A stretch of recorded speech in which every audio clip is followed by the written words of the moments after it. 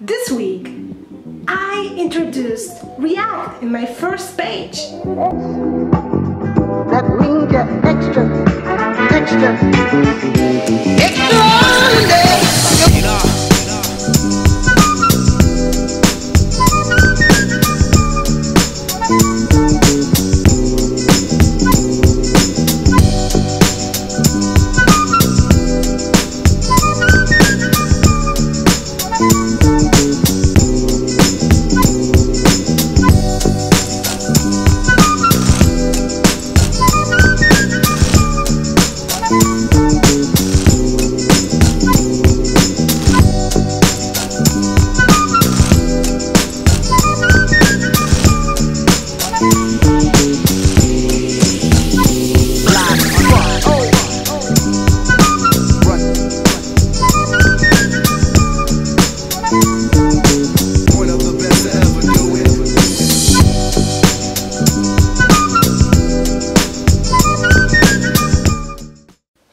now, I'm watching the React tutorial from lynda.com. I want to achieve the moment when uh, each sub-page, uh, whether it's uh, for websites, applications or design, will render appropriately just only when clicked and this portfolio will be single page using React.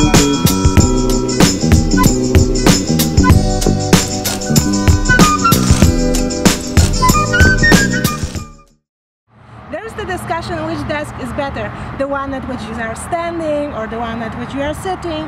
I use both of them, but the best desk is the desk from which you stand up very often and go, go out in order to stretch a bit your muscles.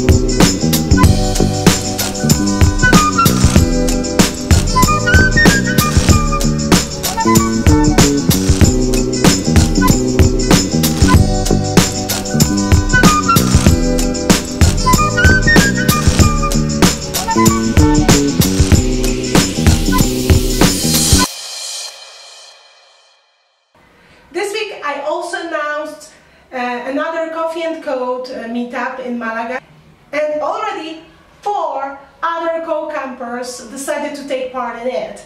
For our local Malaga Free Code Camp group, four members still is a step farther because more people are going to take part than the last time. This week I was learning a lot about React and I have just touched the basics of React. For developers who are programming in React for a long time, it's like nothing what I did. Despite the fact that it's a small step, I really appreciate that I managed to do it this week. Each step counts, especially if you learn something from scratch. You started, you did it, you used the first snippet of React code in your app, in your website, and everything works and everything is fine. So now you can go the step farther. So making small steps but in the direction of progress. It's always what motivates me. This is how the page looks right now.